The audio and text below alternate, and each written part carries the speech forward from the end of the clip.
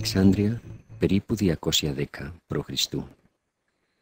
Τη νύχτα εκείνη ο αέρας ήταν ζεστός και οι νέες που έπαιζαν τον αυλό φορούσαν στεφάνια μυρτιάς.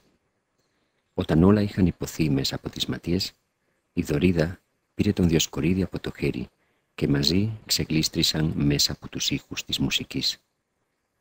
Μέρες αργότερα, κατά το ύφος του Ασκληπιάδη και του Καλίμαχου που έγραψαν όμορφα επιγράμματα για νύχτες έρωτα, ο Διοσκορίδης επιχειρεί να υμνήσει εκείνες τις στιγμές με την νεαρή Δωρίδα. Τη θεϊκή της όψη, το ειλικρινές της δόσιμο, την αθώα της χαρά. Με μία λαφρά κίνηση του χεριού δοκιμάζει το ρυθμό των στίχων που σχηματίζει στο μυαλό του, σαν ασήμαντο, νυχτερινό, μοναχικό παιχνίδι. Κάποιες φορές χαμογελά, άλλες ξεχνιέται, ύστερα ξαναρχίζει.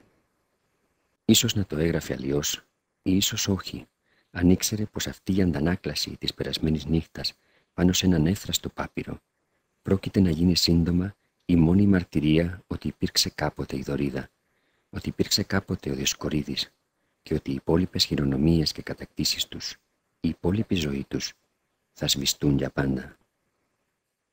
Αφού στην κλίνη ξάπλωσα τη ροδόπηγο Δωρίδα, την Αθανασία βρήκα μέσα στα χλωερά της μέλη διότι υπέβοντάς με, εχμάλωτο με κράτησες στα υπέροχα πόδια της, φέρνοντας με ακούραστα στις Αφροδίτης τον μακρύ το δρόμο.